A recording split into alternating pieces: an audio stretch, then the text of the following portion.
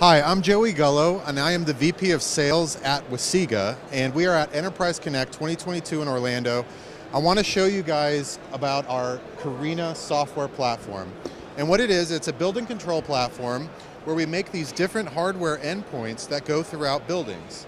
Today we work mainly in K through 12, manufacturing and warehousing, some healthcare facilities, and Carina will control these different services. So you may have paging, audio paging that needs to happen in different areas of the building, very specific areas or the entire building, um, emergency alerts, active shooter lockdowns.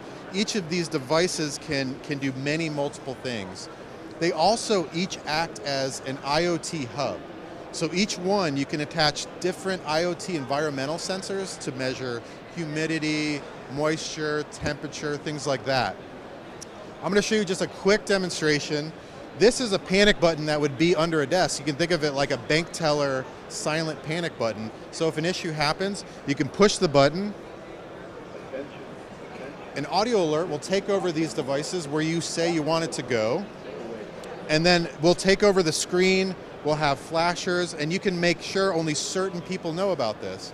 Now the beautiful thing about all of this is it's all managed on this very small and simple, power efficient um, uh, a, a, server appliance. So all the software lives right here. Um, it takes less than a watt to run, so in a power outage we can last on UPS for a really long time. So um, if you'd like to know more, go to wahsega.com, W-A-H-S-E-G-A.com, where we keep buildings and people safe. Thank you very much.